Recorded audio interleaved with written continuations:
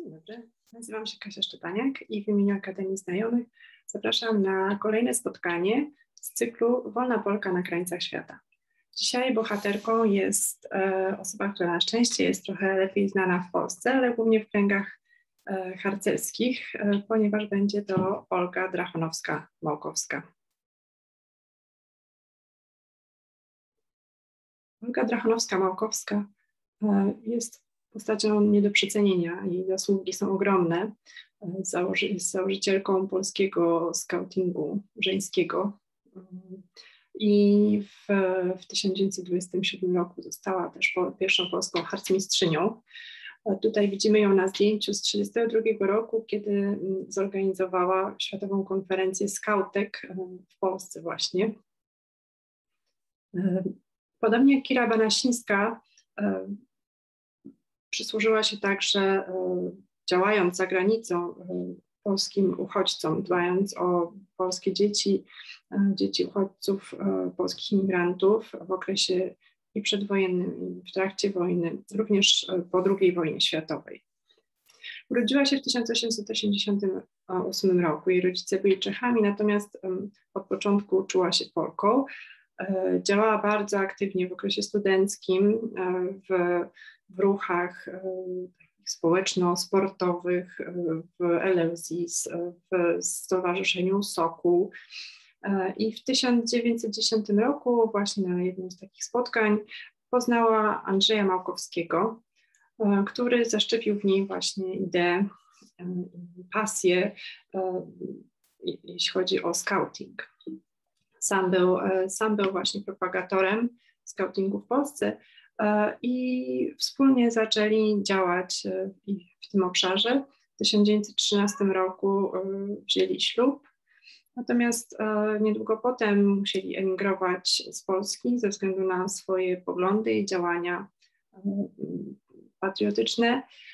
W 1915 roku rodzi się ich syn, natomiast już w 1919 roku Andrzej Małkowski ginie.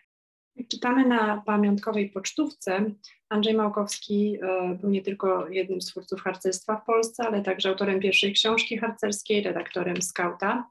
Walczył też e, w legionach, natomiast e, w 1914 roku, rok po ślubie, mm, Olga i Andrzej Małkowscy wyjeżdżają do Stanów Zjednoczonych przez Francję, Szwajcarię, Francję E, I tam e, również działają. Wyjechali z powodów patriotycznych. Andrzej Małkowski nie chciał e, składać przysięgi Austriakom, no i też ze względu na inne działania narodowościowe. Po, niestety w 1919 Andrzej Małkowski kinie w tym czasie e, Olga Małkowska z swoim synem, który urodził, z ich synem, który urodził się w 1915 roku, e, są we Francji, przenosi się do Anglii. Tam zaczyna e, organizować szkołę dla dzieci polskich, natomiast wybucha epidemia hiszpanki.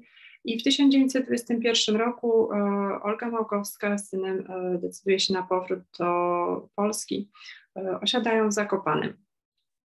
Tam e, już e, po chwili zaczyna organizować e, szkołę. Jest to bardzo nowatorska szkoła. Zakłada Cisowy Dworek.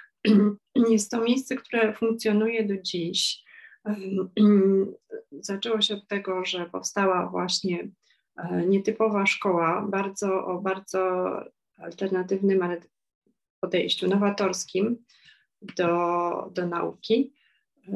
I e, wspomnienia są też tutaj akurat profesor Andrzej Mrożewski e, wspomina swoje, swoje lata spędzone tam, o tym, jak bardzo e, to było przydatne, również w czasie okupacji niestety, ale pewne, pewne umiejętności, pewna zaradność, ale też wartości, które były wpajane czy, czy przekazywane dzieciom, były bardzo istotne. E, były uczone dzieci sprawczości, e, też e, współpracy.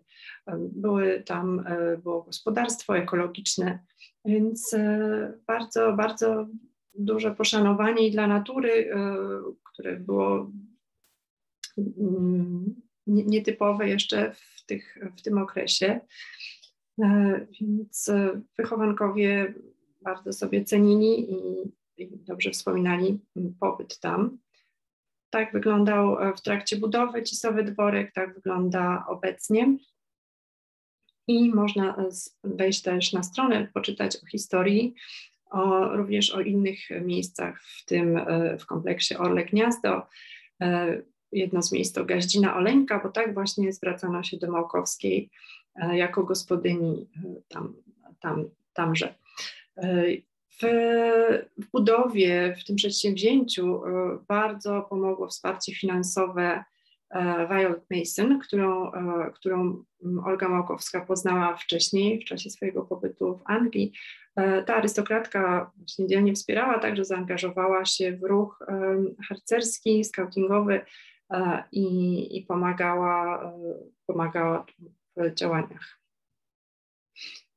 Zdjęcia pochodzą od te, które widzimy z, z konferencji na Buczu, który, który zorganizowała Małkowska.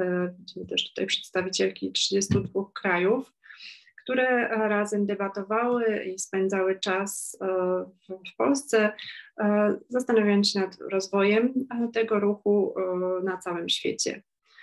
Tu z kolei współpracownica po lewej stronie mm, Walentyna Krzemińska, która z Olgą Małkowską działała, zginęła w 1944 roku w trakcie powstania warszawskiego.